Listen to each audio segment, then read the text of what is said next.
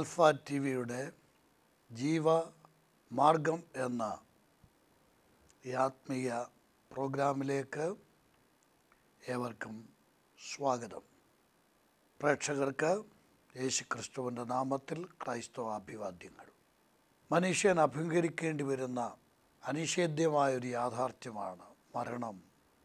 Bible കൃത്യമായി ഇങ്ങനെ പറയുന്നു.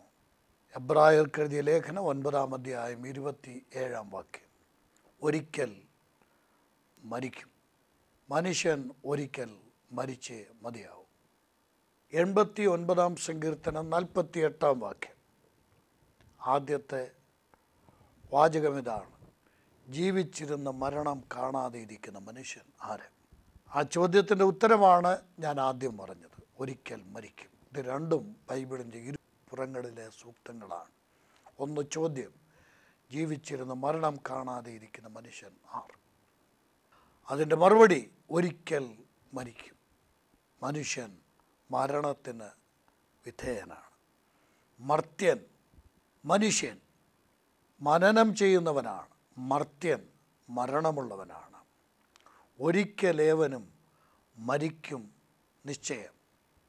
അതിൽ നിന്ന് ഒഴിവായി സഞ്ചരിക്കാൻ മനുഷ്യന് സാധ്യമല്ല. ഏതൊരു വ്യക്തിയും അഭിമുഖീകരിക്കേണ്ടി വരുന്ന അനിഷേധ്യമായ സത്യമാണ് മരണം എന്നുള്ളത്. ഒരിക്കൽ ഈ ജഗത്തെയും ജഡത്തെയും പിരിഞ്ഞു നാം. തിരിക്കണം വിസമ്മതങ്ങളൊന്നുമേ ഫലപ്പെടാ. തിരിച്ചു പിന്നെ വന്നിടാത്ത യാത്രയാണതാകയാൽ കരത്തിലുള്ളതൊക്കെയും അതിർത്തിയിൽ ത്യജിക്കണം. മേരി ജോൺ തോട്ടത്തിൽ എന്ന കവയത്രി കുറിച്ചു വെച്ചതാണ്. സമർത്ഥനായ സീസറും പ്രസിദ്ധനായ ഹോമറും സമത്വമറ്റ സോളമൻ തുടങ്ങിയുള്ള വിജ്ഞരും. അമർന്നുപോയി ഈ കാലചക്ര വിഭ്രമത്തിലെങ്കിൽ നമുക്ക് പിന്നെ എന്തു ശങ്ക മാറ്റമൊന്നുമില്ലതിൽ ഏത് വലിയ പ്രശസ്തനായ വ്യക്തി ഏത് വലിയ വീരനും. അലക്സാണ്ടറിന്റെ പേരൊക്കെ നമ്മൾ ഈ കവിതാശകലത്തിൽ കാണുകയായിരുന്നു. ആരും ഇവിടെ നിന്ന് പോയേ മതിയാവൂ. ദിഗ്വിജയായി അറിയപ്പെട്ട ലോകമൊക്കെ കീഴ്പ്പെടുത്തിയ അലക്സാണ്ടർ ഒരു പനി മുഖാന്തരമാണ് ഇവിടെ നിന്ന് മാറ്റപ്പെട്ടത്. അത് മുപ്പത്തി മൂന്നാമത്തെ വയസ്സിൽ. ക്ഷണികനാണ്. മരണത്തിന് മനുഷ്യൻ കീഴ്പ്പെടാൻ കീഴ്പ്പെടുവാൻ കരടിയും കടുവയും സിംഹവും ഒന്നും വേണ്ട. ഒരു കൊച്ചു കൊതുകു മതി അമൂല്യമായ ആളത്വത്തിന്റെ ഉടമയാണ് മനുഷ്യൻ. അവന്റെ മൂല്യം സങ്കല്പിക്കാൻ കഴിയുന്നതല്ല. അപ്പോൾ തന്നെ അതിന്റെ നേരെ വിരുദ്ധ ധ്രുവത്തിലുള്ള ഒരു സത്യവും ഞാനും നിങ്ങളും അവഗണിക്കാൻ പാടില്ലാത്തതാണ്. അത് മറ്റൊന്നല്ല. മനുഷ്യൻ വളരെ നിസാരമായ ഒരു ജീവി കൂടെയാണ് എന്ന് പറഞ്ഞാൽ അവന്റെ മരണത്തിന് ആനക്കാര്യങ്ങളൊന്നും വേണ്ട. ഒരു കൊച്ചു പനി ഒരു കൊതുക് നിരൂപിച്ചാൽ മതി. മനുഷ്യൻ ഇവിടെ നിന്ന് മാറ്റപ്പെടാൻ ക്ഷണികനാണ്. ഒരു വലിയ യാഥാർത്ഥ്യമാണ് ഇത്. ബൈബിൾ പറയുന്ന ഒരു യാഥാർത്ഥ്യം. ആവർത്തിച്ച് ബൈബിൾ എന്നുള്ള വാക്ക് കേൾക്കുമ്പോൾ അരോചകം തോന്നണ്ട. തുടക്കത്തിലെ ഞാൻ അനുസ്മരിപ്പിച്ച ഒരു യാഥാർത്ഥ്യമാണ് മനുഷ്യന്റെ വസ്തുതകൾ മനുഷ്യനെ അപഗ്രഥിക്കുന്ന മനുഷ്യനെന്ന യാഥാർത്ഥ്യത്തെ കൃകൃത്യമായി അപദ്ഗതിക്കുന്ന ദൈവത്തിന്റെ പുസ്തകമാണ് ബൈബിൾ. അതുകൊണ്ട് ബൈബിൾ ആവർത്തിച്ചേ മതിയാകുള്ളൂ ഉദ്ധരിച്ചേ മതിയാകുള്ളൂ ചാഞ്ഞു പോകുന്ന നിഴലാണ്. എഴുപത് ഏറെയായാൽ എൺപത് മാത്രമാണ് അവന്റെ ആയുസ് വയലിലെ പൂ പോലെ ആണ് അവന്റെ അവസ്ഥ. രാവിലെ തഴച്ചു വളരുന്ന പുല്ലാണ് മനുഷ്യൻ. വൈകുന്നേരം അരിഞ്ഞു വാടിപ്പോകുന്നു. കാറ്റടിക്കുമ്പോൾ ഇല്ലാതെയാകുന്ന പൂക്കളെ പോലെയാണ് മനുഷ്യന്റെ അവസ്ഥ. ഉറച്ചു നിന്നാലും ഒരു ശ്വാസമാണ്. ഇപ്പോൾ കാണുന്നതും പിന്നെ അദൃശ്യമാകുന്ന ആവിയുമാണ് മനുഷ്യൻ. നോക്കണം എത്ര കൃത്യമായിട്ടാണ് മരണത്തെ ബൈബിൾ വ്യക്തമാക്കുന്നത് മനുഷ്യന്റെ ആയുഷിനെ ബൈബിൾ വ്യക്തമാക്കുന്നത്. തൊണ്ണൂറാം സങ്കീർത്തനത്തിൽ മോശ എന്ന ദൈവപുരുഷൻ പ്രാർത്ഥിക്കുമ്പോൾ മനുഷ്യന്റെ ആയുഷിന്റെ ദൈർഘ്യം കൃത്യമായി പറയുകയുണ്ടായി. എഴുപത് സംവത്സരം ഏറെയായാൽ എൺപത്. അടുത്ത വാചകം അതിന്റെ പ്രതാപം പ്രയാസവും ദുഃഖവും അത്രേ മനുഷ്യന്റെ ആയുസ് എഴുപത് ഏറെ ആയാൽ എൺപത്. എത്ര വർഷം എന്തോ ദൈർഘ്യമുണ്ട് ഈ ജീവിതത്തിന്? സുഹൃത്തെ സഹോദരി സഹോദര ഈ എൺപത് വർഷത്തിന് വേണ്ടി അല്ല ഇനി ഒരല്പം കൂടെ ഒരു ശതാബ്ദം എന്നങ്ങ് വിചാരിച്ചു നൂറ് വർഷം ജീവിക്കാൻ കഴിഞ്ഞാൽ ആ ജീവിതത്തിനൊരറുതിയുണ്ട് അതിനൊരു അവസാനമുണ്ട്. ഈ ഹ്രസ്വമായ ഒരു ആയുഷ് എൺപ എഴുപതോ എൺപതോ നൂറോ വയസ്സ് മാത്രം വർഷങ്ങൾ മാത്രം ഇവിടെ ജീവിക്കാൻ കഴിയുന്ന ഒരു ആയുഷ് അതിനുവേണ്ടിയാണോ ഈശ്വരൻ മനുഷ്യനെ നിർമ്മിച്ചത്? അവിടെ കൃത്യമായ ജീവിതത്തെ വിലയിരുത്തുകയാണ് സങ്കീർത്തനകാരൻ ചെയ്യുന്നത് അഥവാ ദൈവപുരുഷനായ മോശ ചെയ്യുന്നത്. അതിന്റെ പ്രതാപം ദുഃഖവും സങ്കടവുമാണ്. അതിന്റെ പ്രതാപം ദുഃഖവും പ്രയാസവുമാണ്. മനുഷ്യന്റെ ആയുസ്സിനെ മനുഷ്യ ജീവിതത്തെ ആകെക്കൂടെ ഒറ്റ വാക്കിൽ സംഗ്രഹിച്ചാൽ അത് ദുഃഖകരമാണ് ദുഃഖമാണ് മനുഷ്യ ജീവിതം. സന്തോഷിക്കാനുള്ളതൊക്കെ നിമിഷങ്ങൾ കൊണ്ട് മാറും. ദുഃഖിക്കാനുള്ളതും നിമിഷങ്ങൾ കൊണ്ട് മാറും. എന്നാൽ മനുഷ്യൻ എന്ന യാഥാർത്ഥ്യം പിന്നെയും നിലനിൽക്കുകയാണ്. മരണം ഒരു നിത്യ യാഥാർത്ഥ്യമാണ്. അത് ആരും അഭികരിച്ചേ മതിയാവും. എത്ര ഉന്നതനായ വ്യക്തിയാണെങ്കിലും. വീണഭൂക പൂവ എന്ന കാവ്യത്തിൽ കുമാരനാശാനും പറഞ്ഞത് അതാണ്. ഇന്നീ വിധം ഗതി നിനക്കായി പോക പൂവേ പിന്നൊന്നൊന്നായി തുടർന്നു വരും ആ വഴി ഞങ്ങളെല്ലാം. ഒന്നിനുമില്ല നില ഉന്നതമായ കുന്നുമെന്നല്ല ആഴിയും ഒരിക്കൽ നശിക്കുമോർത്താൽ സത്യമാണ്. ഒന്നിനും ഇവിടെ നിലനിൽപ്പില്ല. മനുഷ്യൻ എന്നും ജീവിക്കയില്ല. മനുഷ്യന് മരണമുണ്ട്. ക്ഷണം വിത്തം ക്ഷണം ചിത്തം. യമസ്യ കരുണ നാസ്തി ക്ഷണം ജീവനമാനയ. നീതിസാരത്തിൽ ഉള്ള ഒരു ശ്ലോകമാണ് ഞാൻ ഇവിടെ ഉദ്ധരിച്ചത്. എന്താ? ക്ഷണം വിത്തം മനുഷ്യന്റെ ധനം ക്ഷണികമാണ്. മനുഷ്യന്റെ അറിവ് അവന്റെ ജ്ഞാനം ക്ഷണം ചിത്തം അതെല്ലാം ക്ഷണികമാണ്. യമസ്യ കരുണ നാസ്തി കാലന് കരുണയില്ല മരണത്തിന് കരുണയില്ല. കൊച്ചു കുഞ്ഞാണോ? ബാലികാബാലന്മാരാണോ യുവതി യുവാക്കന്മാരാണോ? വാർദ്ധക്യത്തിലെത്തിയോ? മരണത്തിന് ഭേദമില്ല. എല്ലാവരെയും മരണം സന്ദർശിക്കുക. എന്ത് കാര്യത്തിനും അവധി വെച്ച് മാറാം. പക്ഷേ മരണം വന്നാൽ അവധി വെച്ച് മാറാൻ കഴിയില്ല. മരണം വിളിച്ചാൽ പോയേ മതിയാകുകയുള്ളൂ അതുകൊണ്ട് സുഹൃത്തെ ഞാൻ എളിമയോടെ പറയട്ടെ മരണം ഒരു വലിയ യാഥാർത്ഥ്യമാണ്. ഒരിക്കൽ മരിക്കും. നമ്മളാരും മരിക്കാൻ ആഗ്രഹിക്കുന്നില്ല. പക്ഷേ മരിച്ചേ മതിയാകും. ഒരു സത്യം ഞാൻ ഓർമ്മിപ്പിക്കാം. ഭാരതീയ കഥകളിൽ ഭാരതീയ സംസ്കൃതത്തിൽ സംസ്കൃതിയിൽ ഞാൻ വായിച്ച ഒരു ചെറിയ സംഭവം ഞാൻ ഓർക്കുന്നു. ഏറ്റവും വലിയ അത്ഭുതം ഏതാണ് എന്ന് ഒരു ഗുരുവിനോട് അദ്ദേഹത്തിന്റെ ശിഷ്യൻ ചെന്ന് ചോദിക്കുന്ന ആ ചോദ്യം എന്നെ ചിന്തിപ്പിച്ചതാണ്. ഏറ്റവും വലിയ അത്ഭുതം എന്താണ്? ലോകത്തിലെ വലിയ അത്ഭുതങ്ങൾ സപ്താത്ഭുതങ്ങളൊക്കെ നമുക്കറിയാമല്ലോ. അതുപോലെയുള്ള ഏതെങ്കിലും പറയുമെന്നായിരുന്നിരിക്കാം ഈ യുവാവ് ആത്മീയ കാര്യങ്ങൾ അറിയാൻ ആഗ്രഹിച്ച ഈ യുവാവ് ചോദിച്ചത്. ഏറ്റവും വലിയ അത്ഭുതം എന്ത് എന്താണ് ഗുരു? ആ ഗുരു പറഞ്ഞ മറുപടി കേൾക്കണോ? മുമ്പിൽ നിൽക്കുന്നയാൾ പിൻപിൽ നിൽക്കുന്നയാൾ ഇരുപുറവും നിൽക്കുന്നയാൾ മരിക്കുന്നു.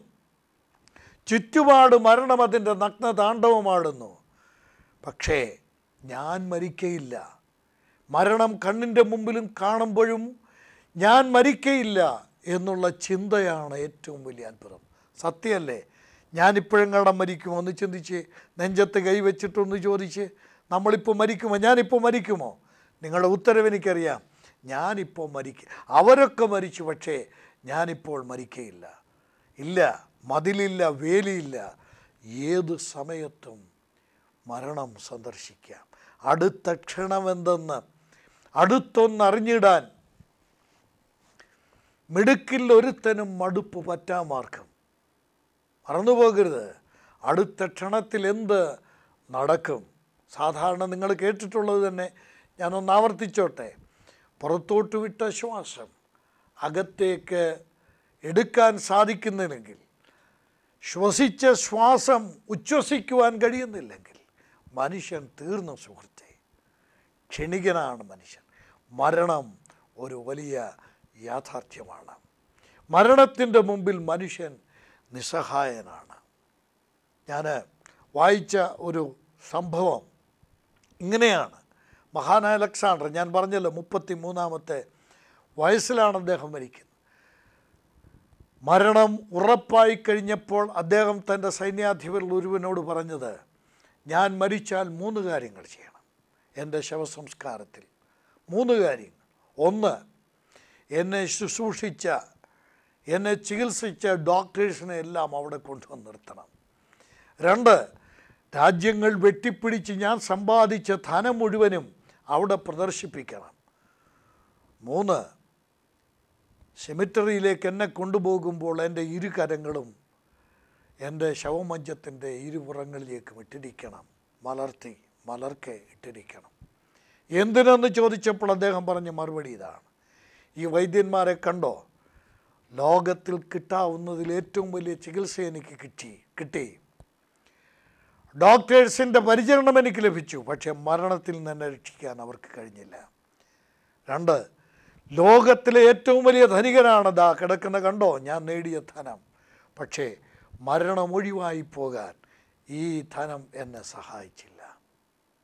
മൂന്ന് ശവമഞ്ചത്തിലേക്ക് മലർക്കെ ഇട്ടിരിക്കുന്ന കരങ്ങൾ വെളിപ്പെടുത്തുന്ന യാഥാർത്ഥ്യം അദ്ദേഹം നേടി സമ്പാദിച്ചു.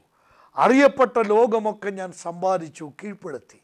പക്ഷേ ഇവിടുന്ന് പോകുമ്പോൾ ഒരു തരി മണ്ണ് പോലും ഞാൻ ഇവിടെ നിന്ന് കൊണ്ടുപോകുന്നില്ല. സ്നേഹിത സഹോദരി യാഥാർത്ഥ്യം വ്യക്തമാക്കട്ടെ. നേടിയതെല്ലാം വിട്ട്. അല്ല നിനക്കൊന്നും ഉള്ള ആളായിരിക്കില്ല. നിർദ്ധനനായിരിക്കാം നിർധനയായിരിക്കാം.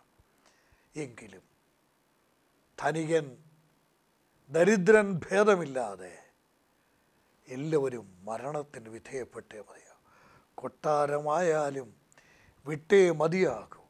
കോട്ടയ്ക്കകത്തേക്ക് മൃത്യു ചെല്ലും വണ്ണം പെരുത്താലും മണ്ണിനിരയാകും. കണ്ണിന്റെ ഭംഗിയും മായമായ മൂത്താമ്പാക്കിൽ കൊച്ചു കുഞ്ഞു ഉപദേശി എഴുതി വെച്ച നിത്യ സത്യമാണിത്. ആർക്കും മരണത്തിൽ നിന്നൊഴിഞ്ഞു പോകാൻ സാധ്യമല്ല. മരണമെന്ന വലിയ യാഥാർത്ഥ്യം. ഒരു ദിവസം മരിക്കും ഒരു നിമിഷം അങ്ങനെയുണ്ട് അതൊരു യാഥാർത്ഥ്യമാണ്. നിങ്ങൾ തിരിച്ചറിയും എന്ന് ഞാൻ പ്രതീക്ഷിക്കുകയാണ്. മരണത്തെക്കുറിച്ച് ചിന്തിക്കാത്ത ആരെങ്കിലും ഉണ്ടോ? എനിക്ക് സംശയമാണ്. മരണം എന്നതിനെക്കുറിച്ച് ഒരു വട്ടമെങ്കിലും ചിന്തിക്കാത്ത ആളുകൾ മനുഷ്യവർഗത്തിൽ ജനിച്ചവരായിട്ടുണ്ടോ എന്ന കാര്യത്തിൽ എനിക്ക് സംശയമുണ്ട്. ആ ചിന്ത വരുമ്പോൾ അതിനെ അതിന്റെ വഴിക്ക് വിടാൻ ശ്രമിക്കുന്നവരുണ്ടായേക്കാം. പക്ഷേ മരണത്തെക്കുറിച്ച് ചിന്തിക്കാത്തവർ ഉണ്ടാവില്ല. എല്ലാവരും ചിന്തിക്കുന്നുണ്ട്. ലോകമറിയപ്പെട്ട ലോകത്തിൽ എമ്പാടും അറിയപ്പെട്ട പുകഴ്പ്പെട്ട വ്യക്തിയാണല്ലോ ചാർലസ് ഡാർവിൻ പരിണാമ സിദ്ധാന്തത്തിലൂടെ. അദ്ദേഹം എഴുതിയ ഒരു വാചകം മരണത്തെ സംബന്ധിച്ച് അദ്ദേഹം എഴുതിയ ഒരു വാചകം ഞാനിവിടെ ഉദ്ധരിക്കാം. ബുദ്ധി വൈഭവമുള്ള ജീവികളും മനുഷ്യവർഗവും അനേക സഹസ്രാബ്ദങ്ങളുടെ പരിണാമ ഫലമായി ഇന്നത്തെ നിലയിലെത്തി. തെറ്റാണ്. അദ്ദേഹത്തിന്റെ ചിന്തയാണത്.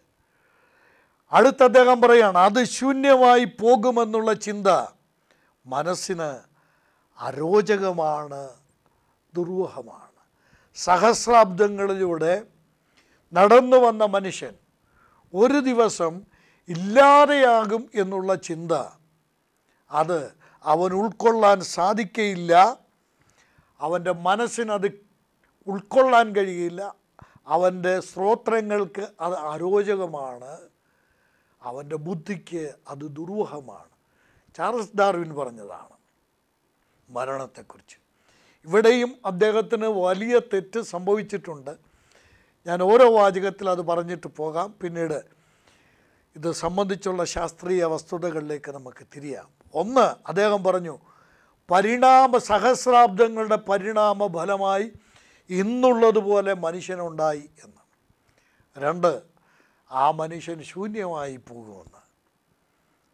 ഇത് രണ്ടും അദ്ദേഹത്തിന്റെ ചിന്തയാണ്. വളരെ വളരെ അപക്വമായ അശാസ്ത്രീയമായ ഒരു പ്രസ്താവനയായിട്ട് എനിക്കിതിനെ വിലയിരുത്താൻ കഴിയുള്ളൂ.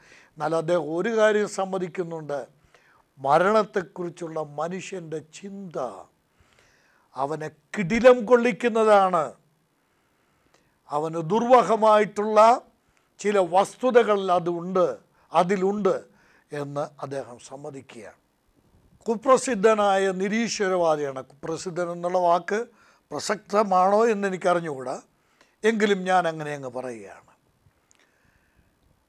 ലോകത്തിൽ പരക്കേറിയപ്പെടുന്ന ഒരു നിരീശ്വരവാദിയാണ് ഇംഗർസോൾ അദ്ദേഹം മരണത്തെയും മരണാനന്തര ജീവിതത്തെയും ശരിയായി പരിഹസിച്ചിട്ടുണ്ട്. കണക്കിന് കണക്കിനല്ല കണക്കറ്റ് അദ്ദേഹം പരിഹസിച്ചിട്ടുണ്ട്. പ്രത്യേകിച്ചും ബൈബിളിനെ വെല്ലുവിളിച്ച് അദ്ദേഹം കളിയാക്കിക്കൊണ്ട് അദ്ദേഹം പറഞ്ഞ ഒരു വാചകം ഞാൻ വായിച്ചിട്ടുണ്ട്. അദ്ദേഹം ചോദിക്കുന്ന ഒരു ചോദ്യമാണിത്. ഇരുന്നൂറ് റാത്തൽ തൂക്കമുള്ള ഒരാൾ മരിച്ചു കഴിഞ്ഞ് ഉയർത്തെഴുന്നേറ്റാൽ എത്ര റാത്തൽ തൂക്കം അദ്ദേഹത്തിനുണ്ടായിരിക്കും? മരണാനന്തര ജീവിതം സംബന്ധിച്ച് അദ്ദേഹത്തിന്റെ ചോദ്യമാണ്. ഇരുന്നൂറ് റാത്തൽ തൂക്കമുള്ള ഒരാൾ മരിച്ചിട്ട് ഉയർത്തെഴുന്നേറ്റാൽ ആ ഉയർത്തെഴുന്നേറ്റ് കഴിയുമ്പോൾ അദ്ദേഹത്തിന് എത്ര റാത്തൽ തൂക്കമുണ്ടായിരിക്കും? മറ്റൊരു യുക്തിസഹം എന്ന് മറ്റുള്ളവരെ ബോധ്യപ്പെടുത്താൻ കഴിയുന്ന ഒരു ചോദ്യം അദ്ദേഹം ചോദിച്ചിട്ടുണ്ട്. നരഭോജിയായ ഒരു മനുഷ്യൻ ഒരു മിഷണറിയുടെ ശരീരം ഭക്ഷിച്ചു. എങ്കിൽ ഉയർത്തെഴുന്നേൽക്കുമ്പോൾ അഥവാ പുനരുദ്ധാനം സംഭവിക്കുമ്പോൾ ഈ ഭക്ഷിക്കപ്പെട്ട മിഷണറിയുടെ ശരീരത്തിന്റെ ഉടമ ആരായിരിക്കും അത് നരഭോജിയായിരിക്കുമെന്ന് നമുക്ക് സയുക്തിയുമെന്ന് തോന്നാവുന്ന ഒരു ചോദ്യം. ഇതെല്ലാം പരിഹാസ ദ്യോതേന ചോദിച്ചിട്ടുള്ള ചോദ്യങ്ങളാണ് സ്നേഹിതരെ. മരണാനന്തര ജീവിതം സംബന്ധിച്ചുള്ള മനുഷ്യന്റെ വിലയിരുത്തലുകൾ. എന്തായാലും ചിന്തിച്ചല്ലോ ഇദ്ദേഹം. മരണത്തെക്കുറിച്ച് ചാർൾസ് ഡാർവിന് ഇംഗർസോളും ഒക്കെ ചിന്തിച്ചു എന്നുള്ളതാണ്. ഞാനിവിടെ ഉദ്ദേശിച്ചത് മനുഷ്യൻ ചിന്തിക്കാതിരിക്കാൻ പറ്റില്ല മരണത്തെക്കുറിച്ച്. ഇനിയും സെൽസ് എന്ന രണ്ടാം നൂറ്റാണ്ടിൽ ജീവിച്ചിരുന്ന ഒരാൾ ക്രിസ്തുവിന്റെ പുനരുത്ഥാനത്തെ കളിയാക്കിയിട്ടുണ്ട്. ഞാൻ മുമ്പ് പറഞ്ഞതുപോലെ എല്ലാ സീമകളും ഭേദിച്ച് അദ്ദേഹം ആ, പരിഹസിച്ചത് ഇങ്ങനെയാണ് അരക്കിറുക്കിയായ ഒരു സ്ത്രീയും മാനസിക രോഗികളായ ചിലരും സ്വപ്നം കണ്ടതല്ലേ ഈ ക്രിസ്തുവിന്റെ പുനരുദ്ധാനവും മരണാനന്തര പ്രത്യക്ഷതകൾ വന്ന് അരക്കിറുക്കിയായ ഒരു സ്ത്രീ മറിയുടെ കാര്യമാണ്. അരക്കിറുക്കിയായ ഒരു സ്ത്രീയും പിന്നെ മാനസിക രോഗികളായിട്ടുള്ള ചില ശിഷ്യന്മാർ ഈ ക്രിസ്തുവിന്റെ ശിഷ്യന്മാർ അവരും കൂടെ പടച്ചതല്ലേ ഉണ്ടാക്കിയതല്ലേ ഈ പുനരുദ്ധാനവും പുനരുദ്ധാനന്തര പ്രത്യക്ഷതകളും എന്തായാലും ഇവരെയെല്ലാം ഞാൻ ഒരു വിധത്തിൽ അനുമോദിക്കുകയാണ്. കാരണം മരണത്തെക്കുറിച്ചും മരണാനന്തര ജീവിതത്തെക്കുറിച്ച് ഇവർ ചിന്തിക്കാൻ സമയമെടുത്തു. തെറ്റായ നിർവചനങ്ങളും തെറ്റായ ആശയങ്ങളുമാണ് അവർ സമൂഹത്തിന് കൊടുത്തത് സന്ദേശങ്ങളുമാണ് സമൂഹത്തിന് കൊടുത്തതെങ്കിലും മരണത്തെക്കുറിച്ച് അവർ ചിന്തിക്കാൻ സമയമെടുത്തു. ഇന്ന് എന്നെ ശ്രദ്ധിക്കുന്ന സ്നേഹിതരും എനിക്ക് നന്നായിട്ടറിയാം. ജീവിച്ചിരിക്കുന്ന നിങ്ങൾ ഒരു പക്ഷെങ്കിൽ ആർഭാടത്തിന്റെ ഉച്ചകോടിയിൽ ഉച്ചസ്ഥായിയിൽ അതിന്റെ ഉത്തുംഗ ശൃംഗത്തിൽ നിൽക്കുന്നയാളായിരിക്കാം നിങ്ങൾ. എങ്കിലും നിങ്ങളെ സംബന്ധിച്ച് എനിക്കറിയാം നിങ്ങൾ തീർച്ചയായിട്ടും മരണത്തെക്കുറിച്ച് ചിന്തിച്ചിട്ടുണ്ട് എന്ന് ഞാൻ മനസ്സിലാക്കും അങ്ങനെയാണെങ്കിൽ ഞാൻ ചോദിക്കട്ടെ മരണം എന്താണ്? മരണത്തിനപ്പുറത്ത് എന്താണ് സംഭവിക്കുന്നത്? ഞാൻ ആവർത്തിക്കട്ടെ മരണം നിശ്ചയമാണ്. ഏത് സമയത്ത് നടക്കുമെന്നുള്ള കാര്യത്തിൽ നമ്മൾ ഉറപ്പില്ല. നമ്മൾ മരിക്കും അതൊരു യാഥാർത്ഥ്യമാണ്. എന്നാൽ ഈ മരണം എന്ന് പറഞ്ഞാൽ എന്താ? അതിനപ്പുറത്ത് എന്താ? ഈ ഡാർവിനാണെങ്കിലും ഇംഗർസോൾ ആണെങ്കിലും സെൽസ് ആണെങ്കിലും പറഞ്ഞ കാര്യങ്ങൾ വെച്ച് നിങ്ങളൊന്ന് അപദ്ഗതിക്കുക എന്തായാലും അവർ ചിന്തിച്ചല്ലോ. നമ്മൾക്കും ഒന്ന് ചിന്തിക്കാം. ഞാൻ ഒരു ദിവസം മരിച്ചേ മതിയാകുള്ളൂ ആ മരണത്തിനപ്പുറത്തുള്ള എന്റെ അവസ്ഥ എന്താണ്? മരണത്തോടുകൂടെ തീരുകയാണോ? ഡാർവിൻ പറഞ്ഞതുപോലെ ശൂന്യമായി പോവുകയാണോ ഇല്ലാതെ ആവുകയാണോ? ഇത് ചിന്തിക്കാനുള്ള ഒരു അവസരമായി ഈ ജന്മത്തെ കാണാൻ ഈശ്വരൻ തന്ന ഈ ജീവിതത്തെ കാണാൻ സാധിച്ചാൽ അത് തന്നെ ഏറ്റവും ഉയർന്ന ഏറ്റവും നല്ല മനോഹരമായ ഒരവസ്ഥയായിരിക്കുമെന്നുള്ള കാര്യത്തിന് തർക്കമില്ല. ദൈവം നിങ്ങളെ സഹായിക്കട്ടെ. ചിന്തിക്കുക യാഥാർത്ഥ്യ ബോധത്തോടെ ചിന്തിക്കുക നിഷ്പക്ഷമായി ചിന്തിക്കുക മരണത്തെ വിലയിരുത്തുക ഒരു പക്ഷത്തും നിൽക്കാതെ ചിന്തിക്കുക. ഭൗതികവാദം നിരീശ്വരവാദം. ഞാൻ മുമ്പ് പറഞ്ഞ പല വാദഗതികൾ ഇവിടെയുണ്ട്. അവയുടെ ഒക്കെ പക്ഷത്ത് നിന്നുകൊണ്ട് തന്നെ നിങ്ങൾ ചിന്തിക്കുക. നിഷ്പക്ഷമായിട്ട് ചിന്തിക്കുക. ഒരു സത്യത്തിന്റെ തുരുത്തിലെത്തിച്ചേരാൻ സാധിക്കും എന്ന് തന്നെയാണ് എന്റെ പ്രതീക്ഷ. തീർച്ചയായിട്ടും നിങ്ങൾ ചിന്തിക്കുക. ഞാൻ മടങ്ങി വരട്ടെ യാഥാർത്ഥ്യത്തിലേക്ക്. ദൈവം മനുഷ്യനെ മൂന്ന് ഘടകങ്ങളോടാണ് നിർമ്മിച്ചത്. മരണം യാഥാർത്ഥ്യമാണ്. സത്യമാണ് അത് നടക്കും. ആ മരണം എന്ന ആ വസ്തുതയെ നമ്മൾ നിർവചിച്ചാൽ മൂന്ന് ഘടകങ്ങൾ യോജിച്ചിരിക്കുമ്പോൾ മനുഷ്യനെന്ന സത്താവിശേഷം അവൻ സജീവമായ ഒരാളത്വമായിരിക്കും. എന്നാൽ ഇത് വേർപെട്ട് കഴിഞ്ഞാൽ ജീവനും ആത്മാവും ശരീരവും ഈ മൂന്ന് ഘടകങ്ങൾ മൂന്നായി മാറിക്കഴിഞ്ഞാൽ മരണം എന്ന യാഥാർത്ഥ്യം സംഭവിക്കുകയാണ്. ഇതാണ്. ഒരിക്കൽ മരിക്കും എന്ന് പറഞ്ഞതിന്റെ അർത്ഥം. ഈ മരണത്തെക്കുറിച്ച് നമ്മൾ പഠിക്കുമ്പോൾ വളരെ അവധാനതയോടെ ഗ്രഹിക്കേണ്ട ഒരു വസ്തുത കൂടെയുണ്ട്. ഇത് ശാരീരിക മരണമാണ്. ഇത് ഫിസിക്കൽ ഡെത്താണ് ഭൗതിക ലോകത്ത് ജീവിക്കുന്ന ദൃശ്യലോകത്തിൽ ജീവിക്കുന്ന മനുഷ്യന് ദൃശ്യമായ ഒരു ശരീരമുണ്ട്. എന്നാൽ നിങ്ങൾ ആരെങ്കിലും നിങ്ങളുടെ ജീവനെ കണ്ടിട്ടുണ്ടോ? നിങ്ങളുടെ ആത്മാവിനെ കണ്ടിട്ടുണ്ടോ? അപ്പോൾ അദൃശ്യമായ രണ്ട് സത്യ സത്തകൾ ദൃശ്യമായ കാണാൻ സാധിക്കുന്ന ഈ ശരീരത്തിനുള്ളിൽ കാണപ്പെടാൻ കഴിയാത്ത കാണാൻ കഴിയാത്ത കാണപ്പെടാത്ത രണ്ട് സത്തകളുണ്ട് രണ്ട് ഘടകങ്ങളുണ്ട് ജീവനും ആത്മാവും. ഇതിനെന്താ സംഭവിക്കുന്നത്? അവിടെയാണ് നമ്മൾ ചിന്തിക്കേണ്ടത് മരണം എന്ന മഹാവിഷയത്തെക്കുറിച്ച് ഗ്രഹിക്കുമ്പോൾ നിത്യജീവിതത്തിൽ ഞാൻ നിങ്ങൾ കണ്ടുകൊണ്ടിരിക്കുന്ന ഈ മരണത്തെക്കുറിച്ച് പഠിക്കുമ്പോൾ നമ്മൾ ഗ്രഹിക്കേണ്ട ഏറ്റവും പ്രധാനപ്പെട്ട കാര്യം ഈ മൂന്ന് ഘടകങ്ങൾക്ക് എന്തു സംഭവിക്കും അത് കണ്ടെത്താൻ സാധിച്ചാൽ മരണം എന്ന യാഥാർത്ഥ്യത്തെ നമ്മൾ നിർവചിച്ചു കഴിഞ്ഞു. മരണം എന്നതിനെ നമ്മൾ കണ്ടെത്തിക്കഴിഞ്ഞു. മരണം എന്നുള്ളതിന്റെ അപ്പുറത്തെന്താണ് എന്നുള്ള യാഥാർത്ഥ്യത്തെ ഉൾക്കൊള്ളാനുള്ള ഒരടിസ്ഥാന വസ്തുതയായി അത് മാറുകയാണ്. മരണം എന്താണ്? അത് നമ്മൾ ഗ്രഹിക്കാനുള്ള ഒരു അവസരമായി തുടർന്നുള്ള ചിന്തകളും നമ്മൾക്ക് ഭവിക്കട്ടെ. എന്നാൽ ഇവിടെ ഞാൻ അവസാനിപ്പിക്കുമ്പോൾ ഒരു കാര്യം മനസ്സിലാക്കുക. ഒരു ദിവസം മരിക്കും. മരണത്തിൽ നിന്നൊഴിവായി പോകാൻ ആർക്കും സാധിക്കയില്ല. നിങ്ങൾ ഈ ഭൂമിയിൽ ജീവിച്ചിരിക്കുമ്പോൾ ഇതിനെക്കുറിച്ച് ചിന്തിക്കുന്നുണ്ട്.